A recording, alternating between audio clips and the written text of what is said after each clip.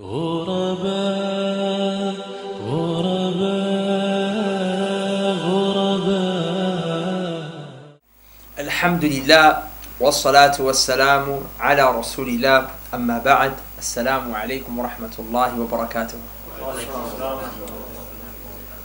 Inshallah brothers um, and sisters that are listening uh, I'm going to today go through the history of bid'ah the history of innovation as you all know bid'ah is the thing that is in direct opposition to the Prophet wasallam sunnah the greatest thing a person can do is shirk, which is to worship someone besides Allah. Then after shirk, the thing that comes second in line is bid'ah. Because bid'ah opposes the sunnah. So shirk goes against la ilaha illallah, that there is none worthy to be worshipped in truth except for Allah alone. And bid'ah goes against Muhammad Rasulullah. We're told to follow the Prophet wasallam in terms of his speech, statement, sorry, in terms of his statements, his actions, and his belief. These are the three things that we're told to follow. And bid'ah is any belief that goes against his belief. It's any statement that goes against his statement. And it's any action that goes against his action. Sallallahu Wasallam. In this, you're also going to learn the history of how the Ummah divided. We all know about the glory of Islam and how Islam used to be strong and you know there was you know the, how, how vast the empire of, of the Muslims stretched. We're going to learn at which point the Islamic empire peaked and what was the reason for its glory days and at what point did the Islamic power in terms of governance and military when it started to decline when it started to divide today we always talk about uniting the Muslims I agree I'm with that I want to unite the Muslims too but on what first we have to understand what was it that caused them to divide because you will see that it was bid'ah that caused the Muslims to divide. And people are trying to cause the Muslims to unite by ignoring the bid'ah. And that doesn't make any sense. It's like trying to cure a person's cancer by neglecting the very cancer in the first place. So without any further ado, inshallah ta'ala, we start at the time of the Sahaba. The Prophet wasalam, when he left this world, he left his companions upon guidance and he left them upon unity.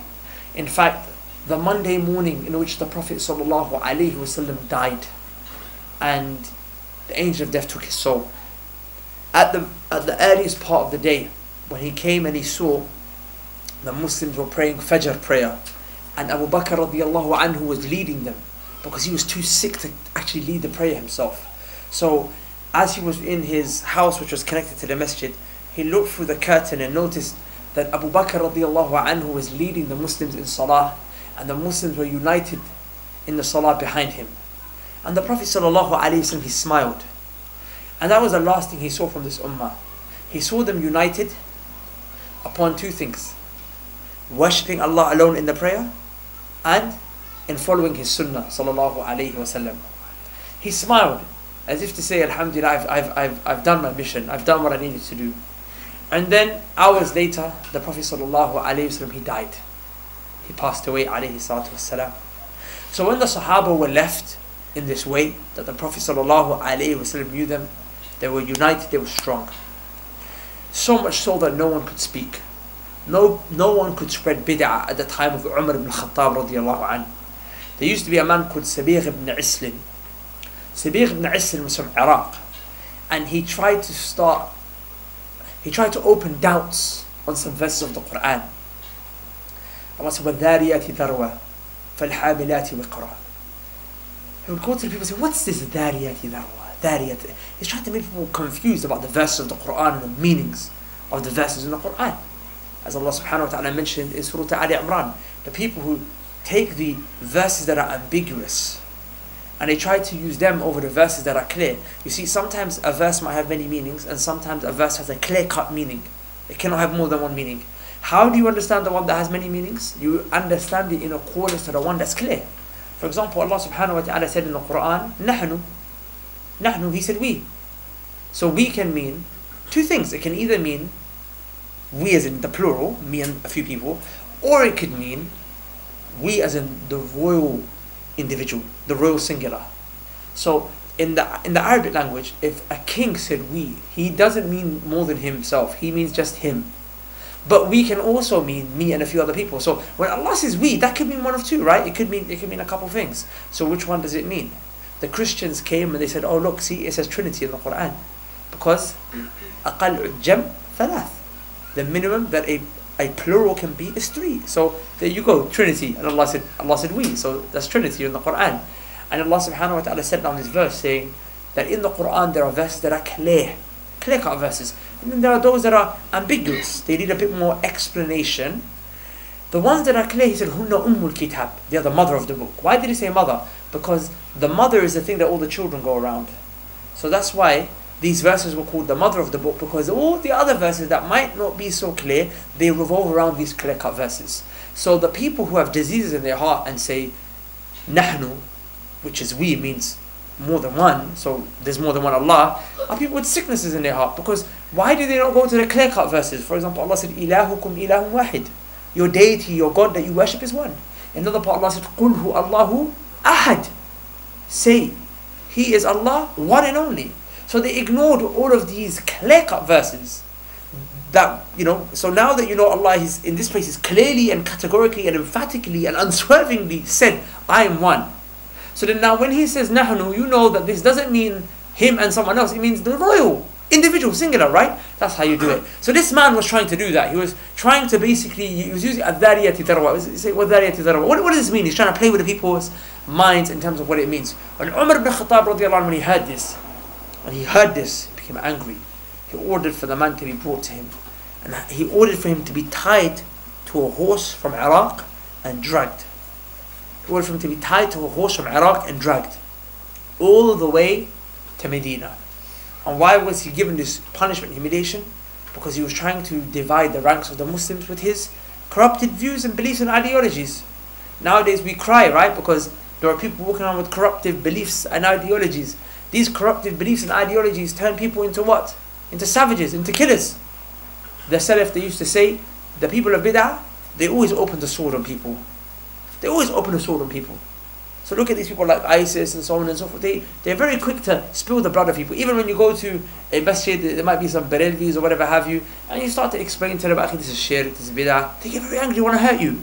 They want to hit you, so I'm going to slap you in the face. The people of bid'ah are very quick to become aggressive. So because Umar ibn Khattab, he, he understood the danger that come from this. He ordered him to be dragged attached to a horse, literally dragged all the way from Iraq all the way to Medina.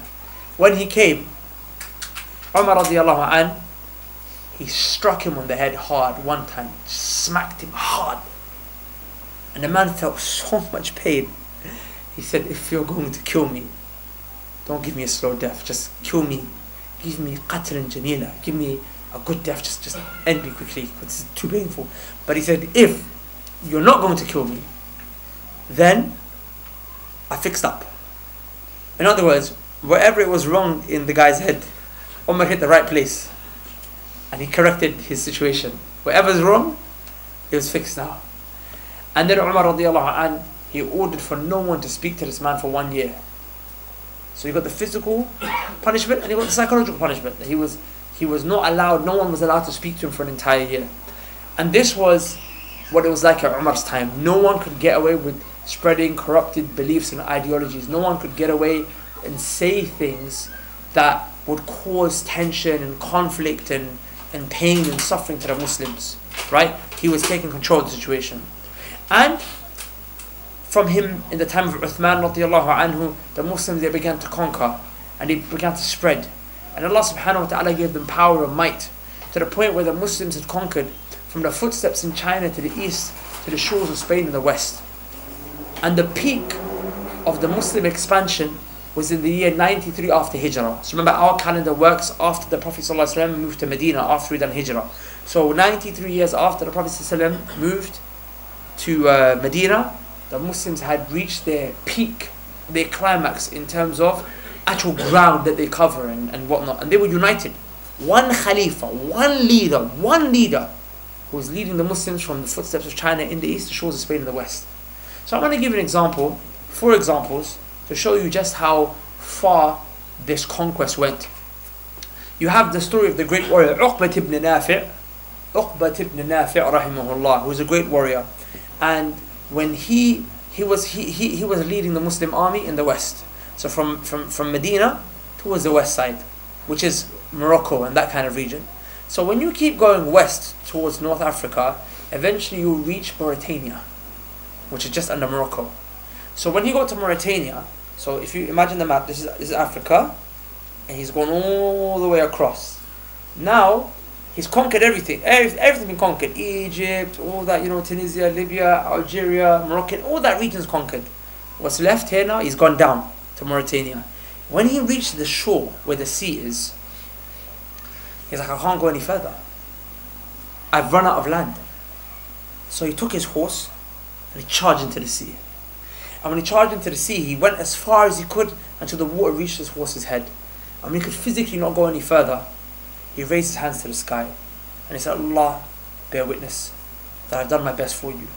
If it wasn't for this land of sea, I would have gone forward and conquered as far towards the west as I possibly could have.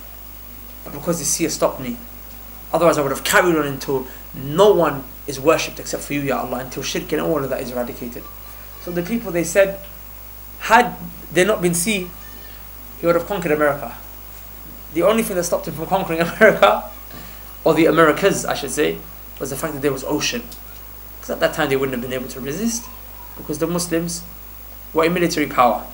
Then you have the example of Qutayba ibn Muslim al-Bahili in the east. He conquered and took his army towards the boundary of China in the east. Now he couldn't invade China. The reason he couldn't is because China had a peace treaty. China had a peace treaty with the Muslims. Now we know that the Muslims are not allowed to go against their treaties, right? When you're in a state of, of peace, then a person cannot go in and conquer, right? That's why it always bewilders me when there's people that support acts of terrorism and crime in this country and they say, oh, look, England has military presence in Muslim countries. So because of that, and they're fighting and they're killing people in Muslim countries, which is terrible, it's wrong, it's oppressive, and we hate that, and we're against that. But they say, oh, because they do that, we are now allowed to what? We're allowed to kill innocent people here. Why? Because we're in a state of war. They say this is Dar al-Harb. Makes no sense. Because we're not in a state of war here. The fact that you live in this country, you have agreed to a state of peace. Your, your passport your residency here, what this means, so we're going to stay in a state of, of, of peace. You're, uh, we- we- you're not going to have trouble and fasad and fitna from us. Okay? Like, for example, the Treaty of Hudaybiyah. The Treaty of Hudaybiyah went against the Prophet. wasallam. The Prophet in the Treaty of Hudaybiyah had to hand Muslims over to the kuffar in order for this peace treaty to remain. It's a very long story, but to summarize, some of these people who look at you and say, Akhi, what do you mean? How can you spill innocent blood? This is not a state of war. We're, in we're not, we're, we're, we we've, we've got a covenant of, of peace. We, we're not living in a state of war. We don't have guns flying around. And no, no, no one's scared. But you, you agreed to this. You live here, right? If you want, if you really are that, you know, concerned and you want to go, give your passport in, give your residency in, give it all in. Because then you said, look, I retract my covenant with you. I retract my treaty with you. I've got, I've, I, I'm not, I'm not in a state of peace with you no more. And you go back home, and then you can do whatever you want if you really, if it, if it really is. Not that I'm saying you should go and kill innocent people anywhere. No, but the point is that if you had that mindset and that thinking, then at least don't be a traitor. Because when you walk on the streets, people don't expect you to blow them up. People don't expect you to just drive a car and run them over. When you walk in the streets, people expect they're going to ride, drive on the road. They expect that there's going to be safety. The fact that you run them over or you do something crazy, it means you violated the state of peace. You violate the state of peace. These same people that will look at you as a sellout if you said that, wallahi, if they saw the Prophet, they would insult the Prophet the same way. Because the Prophet handed over Abu Jandal to, to, to, to, the kuffar of Mecca because of the peace treaty. And Abu Basir radiallahu anhu came to the Prophet running from Mecca, escaping to Medina. And part of the peace treaty was that Muslims would not be able to leave Mecca and join him in Medina anymore. They would not be able to do that. And he said, I can't do anything for you, Abu Basir. He said, I can't be a traitor. I can't be a traitor. I can't do that. We agreed to a peace treaty. It was always the kuffar who broke the treaty. The Muslims, they never done that. So, these these Muslims had a peace. These Chinese kuffar, these disbelievers from China, had a peace treaty with the Muslims because they didn't want the Muslims to enter into China because they knew they wouldn't be able to do it. So the Muslims had a peace treaty, and now this man Qutayba ibn Muslim al-Bahili, rahimahullah, he's confused at the border. He's like, I can't step in. But there was a problem because he took an oath. He took a vow. He took a qasam. He swore by Allah. He said, I swear by Allah, I'm going to go into China. And when I go into China, I'm going to wipe my head over 300 kings and princes of China. Meaning I'm going to humiliate them, as in I'm going to, I'm going to, I'm going to be in charge of them. The kings and the princes of China, they're going to come to me, and in their own country where they used to govern, I'm going to overcome them, and I'm going to wipe my, like a child. You know when you when you see a child and you wipe your head over the child's head, I'm going to, I'm going to, I'm going to do that. But he's saying I took a, I took an oath. I swore by Allah. So I'm gonna, I have to fill my oath, otherwise I'm gonna break it. So, but I can't at the same time break this covenant of peace. So what do I do? So they, you know what they did? They brought him a container of earth from China, so that he could stand on top of it. So there was earth from China, so it's like he's standing on top of China. And what did they do? They went into China, and they brought him 300 kings and princes from China. They brought him 300 kings and princes from China. Why? So that a Muslim soldier, a Muslim general, Muslim warrior can wipe his head over their heads. And wallahi he did. He stood on the on the mound of earth and these 300 kings and princes came and literally just tapped their head like they were children. So this oath could be fulfilled. Why am I telling you this? So you could see the honor of Islam. That the Chinese kings and princes was told you have to leave your palace. And China is a big country. They're coming from different parts of the country. All coming. Why? Just so a Muslim could just touch their head. And they did it. And they did it, wallahi. Because that was the honor that Allah subhanahu wa ta'ala had given to the Muslims. And look at that. He didn't have to break the treaty and become a traitor, go in and kill innocent people in order for Allah to honor him. Rather, he was patient upon the, the treaty and Allah subhanahu wa ta'ala honored him. The same way the Prophet was patient upon the treaty of Hudaybiyah. And what did Allah do? Through that very treaty that looked like it was against the Muslims, and him being patient on that treaty, Allah gave him Mecca in the end. When the time when they signed the treaty, Allah said, Inna fatahna laka fatham mubina. It's verily this is a clear cut victory for you, a clear cut conquest. And the people, Sahaba were confused. How is this, they, you might be thinking, how is this a victory? We have to hand Muslims over. They wanted to confront we can't go to Umrah, we can't fight, we can't do nothing. We have to make peace, and not only are we making peace, we have to hand our Muslims back. How's the victory? But Allah subhanahu wa ta'ala brings the victory. It's your job and my job to obey Him subhanahu wa ta'ala. And then we have the example of the Muslim army expanding north. North, when I say, I mean up to Europe. So the Muslims conquered Spain. They went high, high as high as they could. They went to Italy. Muslims conquered parts of Greece. They conquered parts of Sicily and southern Italy. Hatta Muslims conquered parts of France. There is a battle that took place, and I think they call it the Battle of the Martyrs. And it's also called the Battle of Torres. Torres is the place in France where the battle took place. That place, Torres, is 70 miles from Paris. And Paris is maybe about 350 miles from where we're from London. From London, it's about 350 miles. Maybe even less than that. It's not very far. And that battle, the Battle of Torres, was 70 kilometers from Paris. To show you it wasn't far from England. It wasn't far. The Muslims went that high up. It wasn't far at all. And the Muslims were overcoming the French. They were beating them, they were defeating them. But in the end, the Muslims lost. And the scholars explain the reason they lost is because something similar happened, like what happened in the Battle of Uhud. In the Battle of Uhud, the Prophet ﷺ told the, some of the Sahaba to stay in a particular area, told them not to move and those Sahaba were supposed to guard a particular strategic point to prevent the enemy from coming around the back. But they moved, and the story is a bit long, and the reason for the, which they moved, which was wrong, they disobeyed the Prophet ﷺ in that regard. Um, and then the Khalid ibn Walid, who was not a Muslim at the time, he brought his army from the back and he attacked the Muslims from the back. And what did he do? He ended up sandwiching the Muslims. They had, the, they had one set of army from the front and one from the back, the Muslims were in the middle, and then the Muslims lost. And the battle of Torres was similar to that. They were winning, they were winning, they were winning. Something went wrong, and then Allah subhanahu wa ta'ala He took it away from them. But look at something. This is from Western historical sources.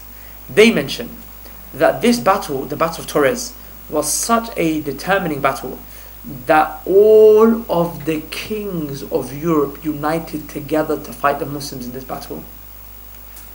It was such a big battle. And they mentioned themselves, the Western historians, the European historians, that had the Muslims won that battle, they would have conquered the whole of the Europe. England would have been a Muslim country today. But قد قدر الله ما شاء فعل. Allah didn't will it to be. but why am I mentioning this to you? To show you how far and how great the Muslim army went.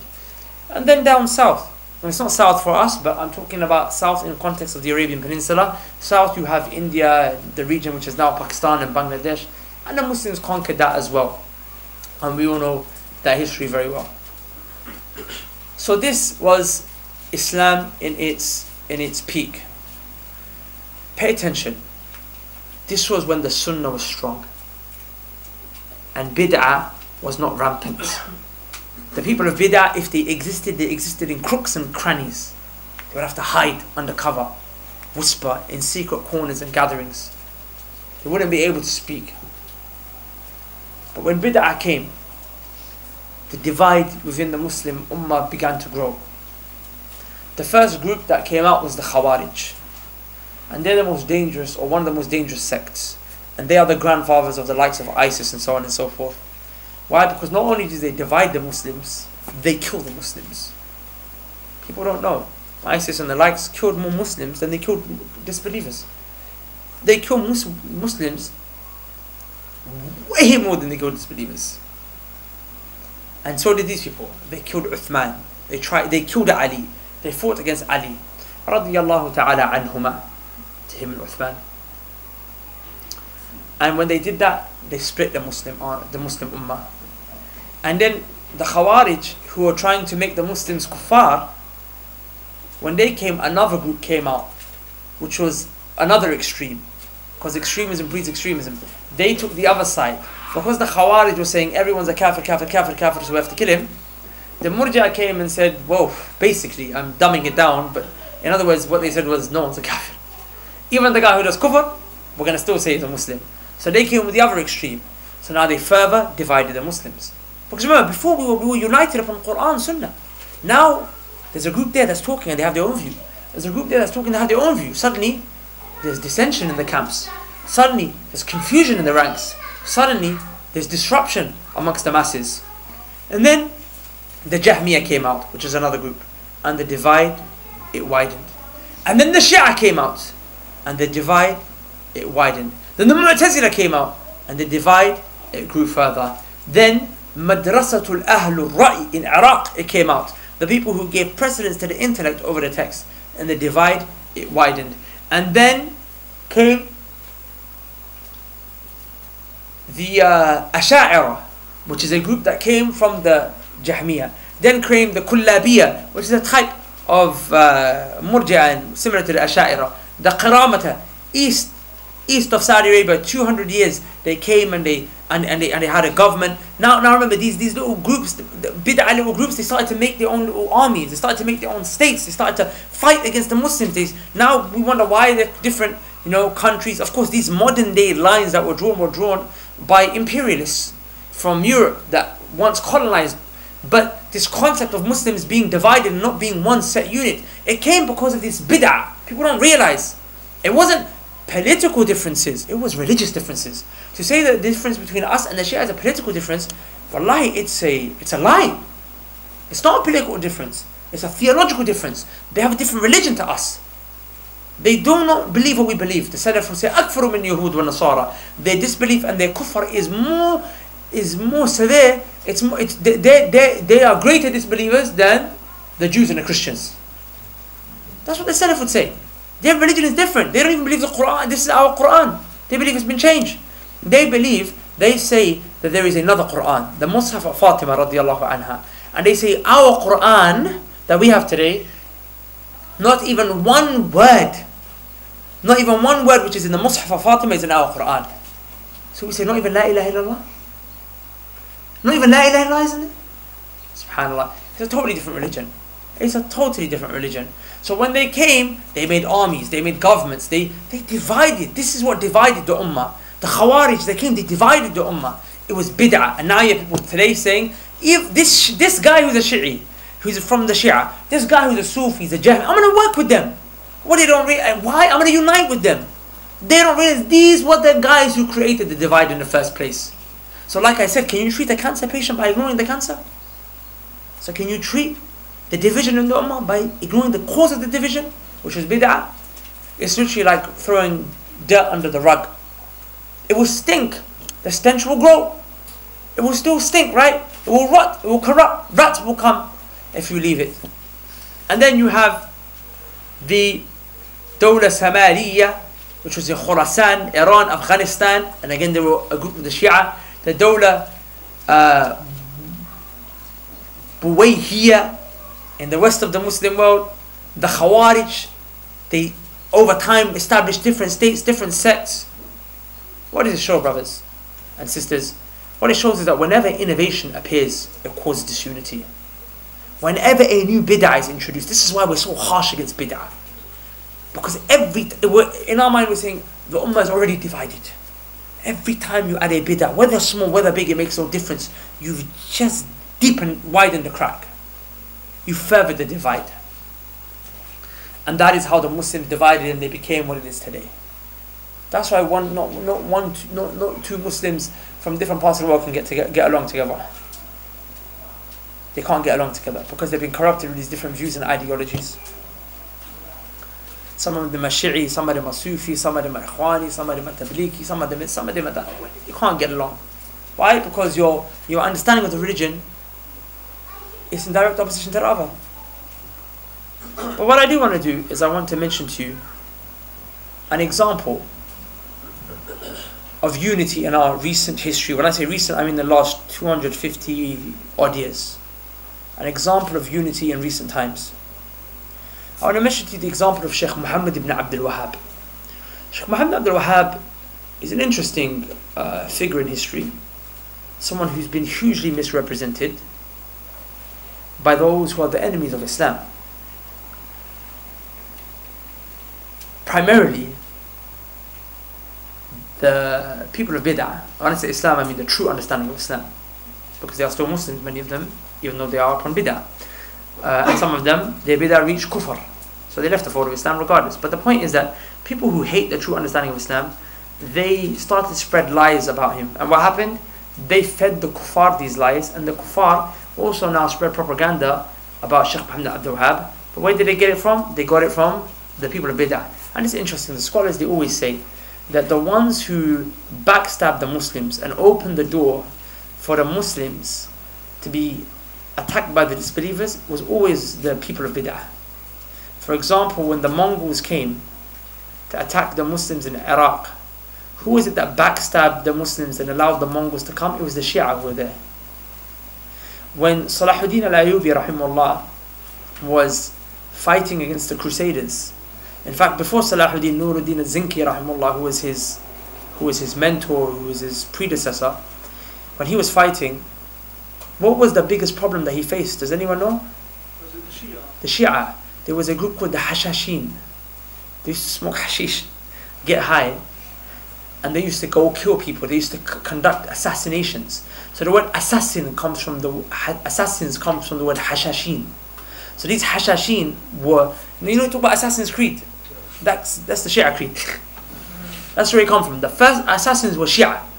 And every time they saw the Muslims conquering uh, uh, land and, and, and regaining land against the Crusaders, they would come and kill the Muslims who were in control. They quickly just come in the shadows, stab. And everyone's like, who killed him? How did he die? Where did he go from? So that's why Salahuddin Ayyubi, when he came into power, the first thing he did was he fought the Shia. He got rid of these Hashashin.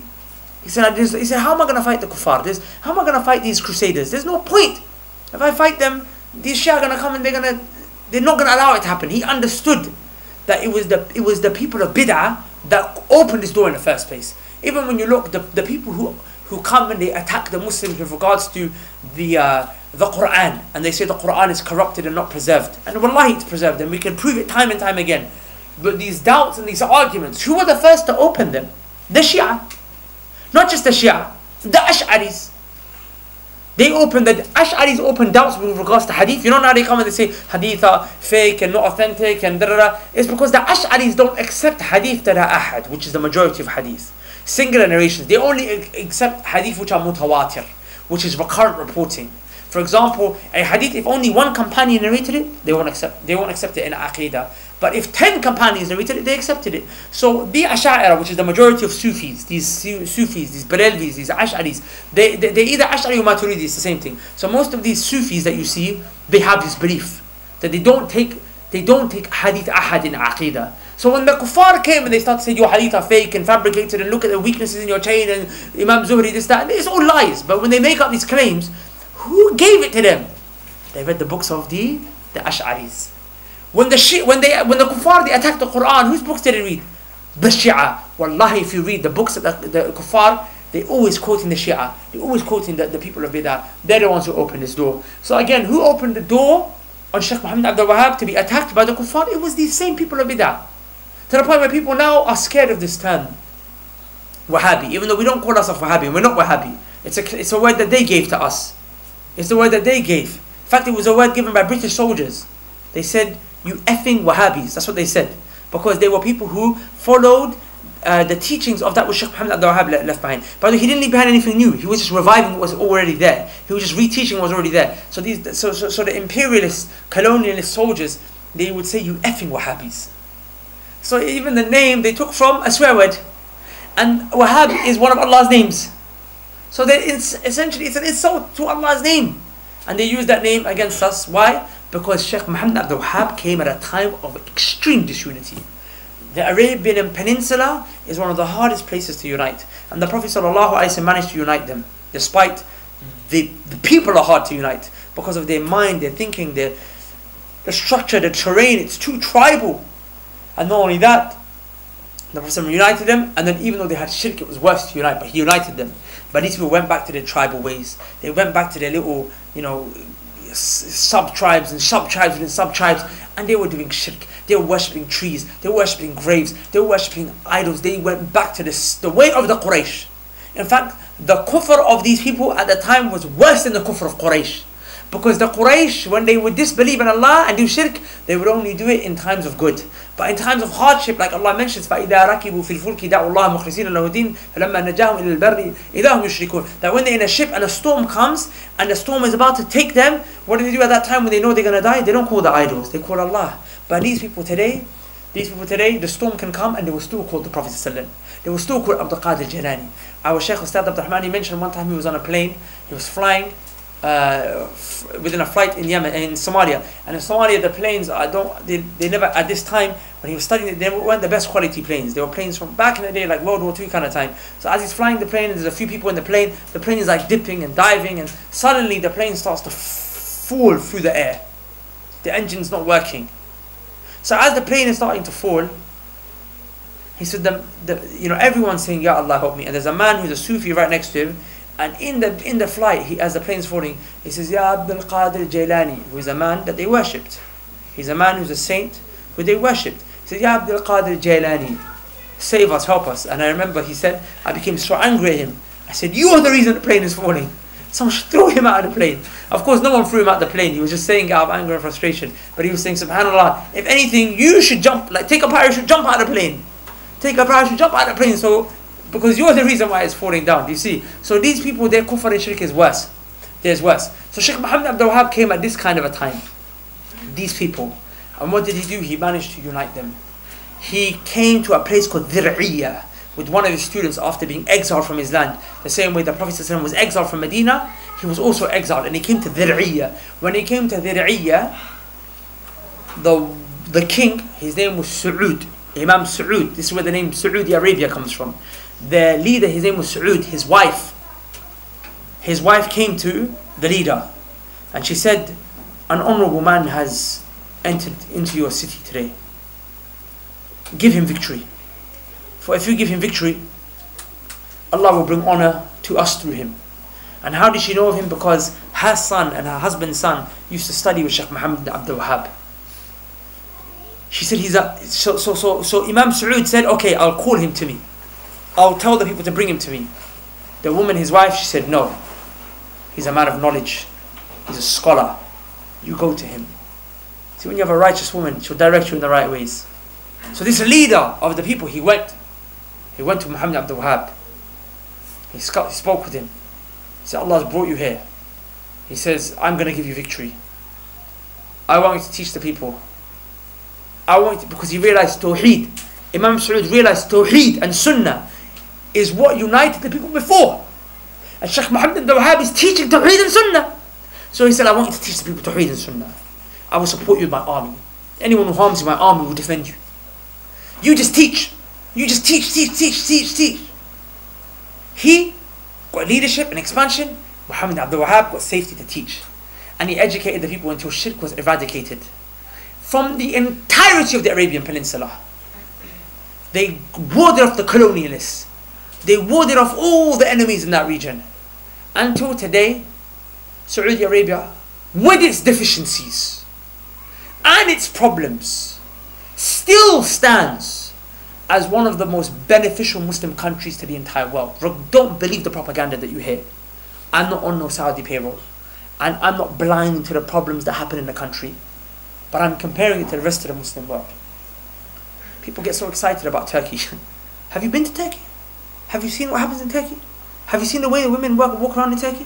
Have you seen the way the men walk around? Have you seen the shirk in Turkey? Just go, just go and look in Turkey. Just go and have a look. People get excited by the hype. So I, I am from Pakistan, and I love my people. And I tell you now, the Sunnah and Tawheed is not in Pakistan the way it is in Saudi Arabia. Saudi Arabia is one of the most beneficial countries to the Muslim world. Uh, the Burmese Muslims, they took the Burmese Muslims from Rohingya who've been killed. They brought them into Saudi Arabia and gave them citizenship. They don't give citizenship to nobody. They gave it to them. Did you hear that on the news? You never heard that on the news. Syria, they allowed Syrians and refugees in the tens of thousands to move into Saudi Arabia, created whole camps for them. Well, if you just give a quick Google search, you'll be shocked to see the kind of refugee camps that they gave them. Proper huts and everything, uh, compared to the ones that these, the kuffar, they give them there. I'm not here to convince you Saudi Arabia is an amazing country or anything like that. To be honest, I really don't care what you think about Saudi. Not, it doesn't mean nothing to me.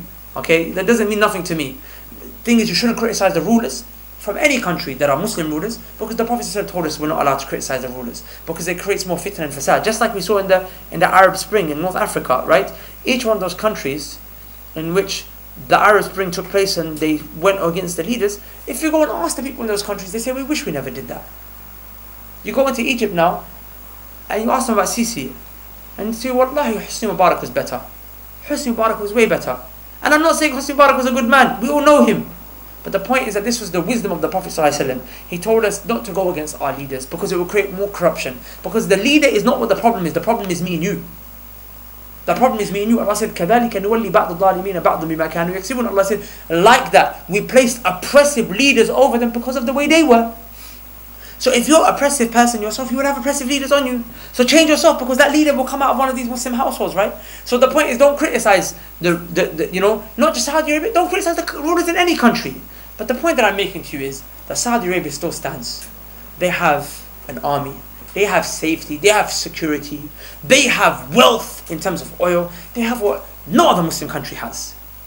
And that's not because they're special for any other reason except that no idols are worshipped in Saudi Arabia. No one is worshipped except for Allah in Saudi Arabia. And the sunnah of the Prophet is more apparent there than any other country. And the moment they leave that, Allah will take all that away from them as well. We don't care. Whoever establishes Tawheed and Sunnah, Allah will give them victory and strength. Hatta we say to the, to the, to the Christians and the, and the Kuffar here in England, we say, we, we, if you establish Tawheed and Sunnah here, Allah will make you the strongest country in the world. You don't have to worry about no Russians or nothing. Establish Tawheed and Sunnah here. And let's be British Muslims. Establish Tawheed and Sunnah here. And watch that which we just spoke about, all this glory that Allah gave to the Muslims all those years ago, Allah will give it back to the Britishers here. This, this golden age of the British Empire and the British Raj they talk about, Wallahi Allah will give it to you better. You know, people, you know, you speak to the old English uncles and aunties, they always tell you, you know, yeah, we, we had the empire. Wallahi Allah will give it back to you. Just stop worshipping Jesus. Stop being a mushrik. Allah will give it back to you. The point is that Allah subhanahu wa ta'ala united when when when when Muhammad Abdul Wahhab united the people upon Tawheed and Sunnah, Allah gave victory. That was an example in our not so recent history of its effects of which we can still see today of how Tawheed and Sunnah, which was combating shirk and bid'ah, was an example of the Muslims coming together, gaining strength, and we can still see elements of that strength today, even if it's not as strong as it once was. To show you, if you want what Saudi Arabia has but better, then be better in eradicating shirk and, to, uh, and establishing tawheed and eradicating bid'ah and establishing the sunnah of the Prophet sallallahu alaihi wasallam. But definitely ignoring the problem and, and trying to unite, trying to unite, even though this disease and this cancer is still there, this cancer of bid'ah, is going to only cause the problem to exacerbate further. And this is something that the people of bid'ah, they do. Because they want bid'ah to spread. They want it to carry on. They want this corruption to be in the ummah. So they turn away from the textual evidences that are right in front of them and the historical history that is right before them and they turn towards what they do. And we pray that Allah subhanahu wa ta'ala He guides us to Tawheed and Sunnah and obedience and protects us from shirk, bid'ah and disobedience. Subhanakallahumma bihamdik, shadu an la ilaha illa anta, astaghfiruka wa atubu ilayk.